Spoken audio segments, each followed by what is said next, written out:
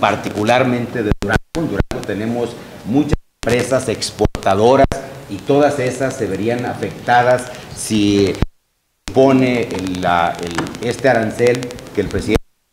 que iniciará, iniciará a partir del día 10 de este mes con un arancel del 5%, el cual se irá incrementando a 5% cada mes hasta llegar a 25%. Entonces nosotros lo que hoy compartimos con todas las cámaras empresariales, pues es la necesidad de cerrar filas, de apoyar al presidente Andrés Manuel López Obrador para que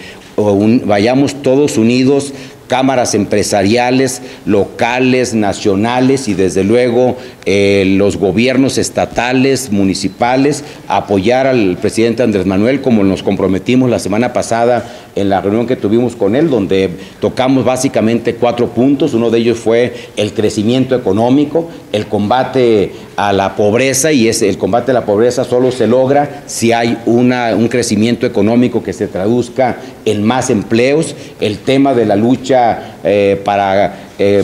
eh, mejorar la seguridad del país y desde luego el tema de la lucha anticorrupción. Son, fueron los cuatro compromisos, pero hoy nos preocupa sobre todo el tema del crecimiento económico, pues por las, las amenazas que reitero ha hecho el presidente Trump. ¿Va a ser también cerrar filas contra Estados Unidos, gobernador, Vamos a cerrar filas con el presidente Andrés Manuel, que ese, él será, su gobierno será el responsable de llevar a cabo la negociación con el gobierno de los Estados Unidos. Ustedes saben que el próximo miércoles se tiene la primera reunión con el canciller mexicano y los funcionarios del gobierno de los Estados Unidos para poder eh, ir eh, buscando qué acuerdos, qué eh, negociaciones se pueden tener para que este arancel que ha, que ha anunciado el presidente Trump pues no, no se aplique y si se da, qué medidas vamos a tomar los sectores productivos, eh, acompañados del, del, gobierno para poder hacer frente a esta circunstancia. ¿Qué sectores nos pegaría? No, nos pega pues el sector, eh, la rama del el sector automotriz, aquí hay una serie de empresas, eh, desde la empresa de armas que tiene una tradición de muchos años en la parte de la industria automotriz, hasta las, la industria arnesera, donde Durango tiene cerca de 30 mil trabajadores que están en esa, en esa área. Obviamente el sector eh, minero, los forestales, o sea que son eh, los que más exportan, son muchos otros sectores los que la economía en general se vería afectada con una situación de esta naturaleza. con los sectores hispanos allá en, en Estados Unidos, con los duranguenses, porque desde el interior de Estados Unidos eh, se puede ejercer mucha presión. Sí, indudablemente que creo que ellos son, han sido aliados en todos los sentidos y en esta parte yo estuve recientemente en Chicago, como estuve también hace poco en Dallas, eh, Texas, y creo que hay una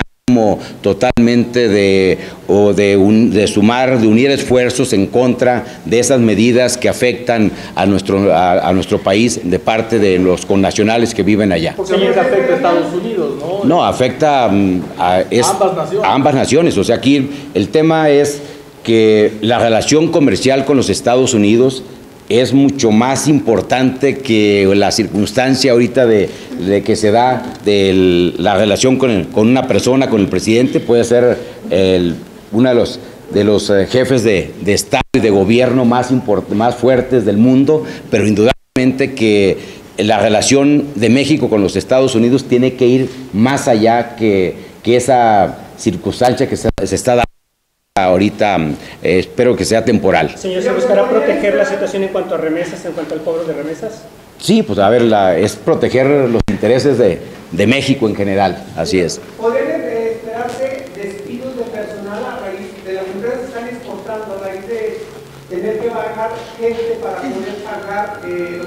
Indudablemente que pues, es una de las consecuencias que podríamos tener al haber este, una mayor o, menores condiciones de competitividad de las empresas por el, porque el arancel pues, no es más que un nuevo impuesto. Eh, eso haría que las empresas exportadoras sean menos competitivas eh, de, las condiciones en las que están hoy en día. Entonces, ¿eso qué consecuencias podría tener? Entre otras, despido de personal, efectivamente. Y esa es la preocupación tanto del presidente Andrés Manuel como de todos los uh, gobernadores, quienes le, les, le, hemos manifestado el apoyo, el respaldo total, y desde luego a, las, a los empresarios decirles que en esta lucha pues vamos juntos, que sabemos que a todos nos afecta y la responsabilidad eh, del gobierno es generar las condiciones, facilitar los mecanismos primero de diálogo, pero también que el gobierno de los Estados Unidos vea que en México estamos unidos, no solo el, el, sector gubernamental,